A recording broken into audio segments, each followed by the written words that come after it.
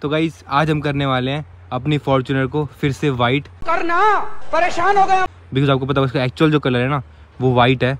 तो हमने ब्लैक इसमें पीपीएफ कराई थी। अच्छा। तो बस हमको अपनी पुरानी फॉर्चुनर की याद आ रही थी वाइट कलर की।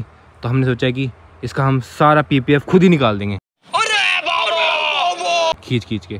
क्योंकि ये लेयर है बस एक पन्नी की लेयर है तो वो निकालनी है बस। अच्छा। तो चलो स्टार्ट तीनों भाई खींचते निकाल। चलो। ये हम निकाल देते हैं अब। खींचो। खींचो दम लगा के सही साथ खींचो अब ब्लैक में देखने की आदत हो गई ना तो वाइट अच्छा लग रहा है देखो। बड़ी सरदा सरदा बड़ी में खुश हो जाएगी।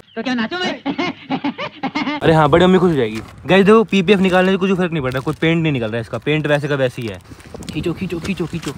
कितना सेटिस्फाइंग लग रहा है यार ये। क्या? क्या बोला तूने? ये पहले क्या बोला? चल। चल। ये देखो भाई कैसा है। हो गया।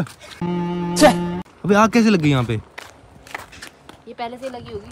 अबे ऐसे कैसे बुझेगी? बात तो सही है। और चप्पल जल जाएँगे तेरे। बेटा तुमसे ना हो पाएगा। गाइज़ ये गाड़ी हमने चला लिया पचास हज़ार किलोमीटर भाई। और अभी तक तो कुछ भी इसमें प्रॉब्लम नहीं आई है। मतलब इतनी बढ़िया गाड़ी है ये पचास हज़ार किलोमीटर में अभी भी नई की तरह चलती है एकदम।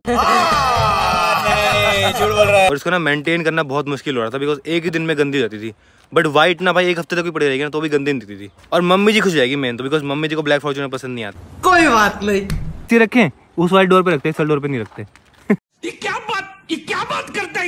मेरे हाथ में दर्द हो गया गंदा वाला। दर्द हो गया हाथ में? छोड़ो फिर मैं कर देता हूँ। अरे दांत नहीं दांत नहीं पागल है क्या? मुँह क्यों लगा रहा है उस पे? कुनाली प्लास्टिक में मुँह नहीं लगाते कभी वैसे प्लास्टिक प्लास्टिक से कैंसर होता है, पता है आपको? बात तो सही है।